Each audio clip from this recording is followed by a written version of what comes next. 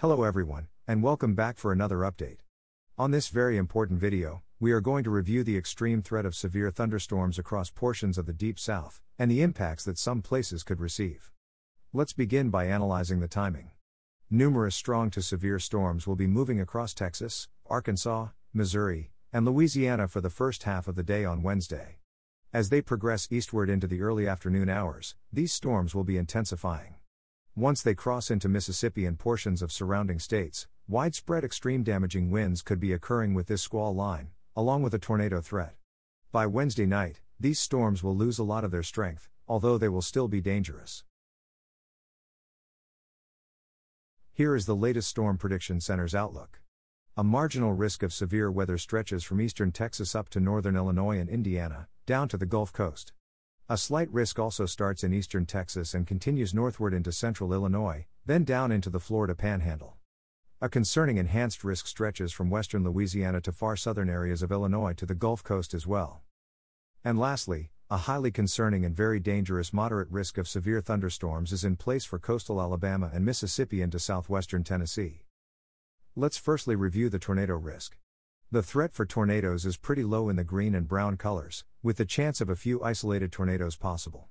If you do live there, you should still take this small threat seriously, and stay weather aware. The real threat begins to grow in this yellow shade, from the Gulf Coast to Arkansas and Tennessee. Definitely stay weather aware if you are in that area. The highest threat zone for tornadoes today will be in that red color, which has the chance at seeing multiple large and destructive tornadoes. It is extremely important that you stay updated on threatening weather conditions throughout the whole day today if you live within that area. I think the most dangerous threat today will be wind damage. This storm system has an extreme amount of wind energy associated with it, so places across that yellow, red, and especially bright pink shade could be in for widespread damaging thunderstorms. These won't be just your basic severe thunderstorms though. We are talking about widespread storms that could pack wind gusts close to, and even exceeding hurricane force criteria.